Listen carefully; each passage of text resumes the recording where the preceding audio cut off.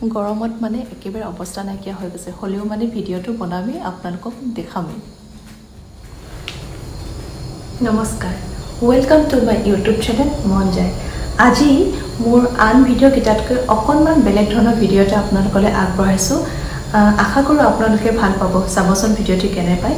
আৰু কথা এটা কওঁ মোৰ চেনেলটোত বিশেষকৈ মই তিনিটা বিষয় মই দিম বুলি ভাবিছোঁ।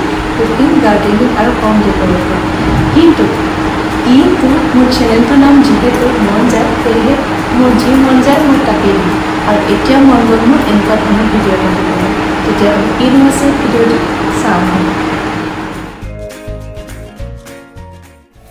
এইযোৰ এযোৰ মই নীলা ৰঙৰ মেখেলা চাদৰ পিন্ধিছোঁ। মেখেলা চাদৰত হোৱাইট কালাৰ ডিজাইন থকাৰ বাবে মই ব্লাউজটো হোৱাইট পিন্ধিছোঁ। এইটো এটা ব্লাউজ নহয় ই এটা ক্ৰপ টপ হয় যিটো মই অনলাইন কিনিছিলোঁ আৰু এইটো মই ব্লাউজ হিচাপে ব্যৱহাৰ কৰিবৰ বাবেই কিনিছিলোঁ। আৰু জুৱেলাৰী হিচাপে বিশেষ একো নাই পিন্ধা। টপটো হাত দীঘল বাবে খাৰু নাই পিন্ধা। ডিঙিত সদায় পিন্ধি থকা চেইনডাল আছে আৰু কাণত অক্সিডাইজৰ কাণফুলিযোৰ এইটো হৈছে মোৰ ফাৰ্ষ্ট লুক মোৰ ছেকেণ্ড লুকটো হৈছে ছেম ব্লু চাদৰখনেই লৈছোঁ মই। হোৱাইট কালাৰ পাটৰ ব্লাউজ আৰু মেখেলাৰ লগত। ইয়াত হোৱাইট কালাৰৰ বৰ ধুনীয়া দহি আছে বাবে মেখেলা আৰু ব্লাউজখন ধুনীয়াকৈ মেটচ কৰিছে। জুৱেলাৰী হিচাপে মই পিন্ধিছোঁ সোণৰ খাৰু আৰু আঙুঠি কাণত পিন্ধিছোঁ বগাত সোণালী ৰঙৰ থকা কাণফুলি। কাণফুলিযোৰ মেখেলা আৰু ব্লাউজৰ লগত বৰ ধুনীয়াকৈ মিলি গ'ল। আৰু এখন হাতত পিন্ধিছোঁ সোণালী ৰঙৰ এটা ঘড়ী।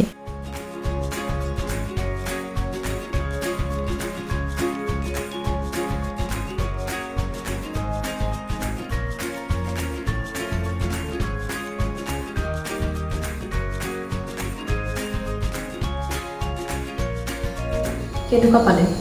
আপুনিও ঠিক এনেদৰে এইযোৰ মেখেলা চাদৰৰ পৰা তিনি চাৰিটা লুক দিব পাৰে। মই ইয়াত দুটা লুক দিছোঁ। মানে ইয়াৰ লগত মই ব্লাউজটো বিচাৰি নাপালোঁ। সেয়েহে মানে বাকীকেইটা লুক দিয়া নহ'লে। যদি ব্লাউজটো থকা সতি মই ব্লাউজ মেখেলা আৰু চাদৰ একে পিন্ধিলোঁ সতি সেইটো এটা লুক আৰু মেখেলা ব্লাউজ একে পিন্ধি চাদৰখন বেলেগ লওঁ সেইটো কথা কওঁ মই। এইখন কিন্তু এখন শাৰী আছিলে যিখন মই শাৰী হিচাপে পিন্ধিবলৈ অকণমান অসুবিধা পাইছিলোঁ। মানে শাৰীখন কিবা ধৰঙা নিচিনা মানে অসুবিধা পাইছিলোঁ পিন্ধিবলৈ। সেইটো কাৰণে ভাবিলোঁ মই মেখেলা চাদৰ বনাই লওঁ। সেয়ে মেখেলা চাদৰ বনাই ল'লোঁ।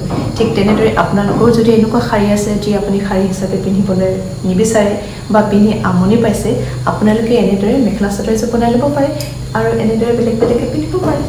কথা।